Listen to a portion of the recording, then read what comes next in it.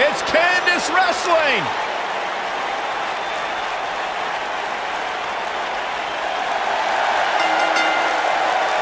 The following contest is scheduled for one fall. Making her way to the ring from Anaheim, California, Candice LeRae.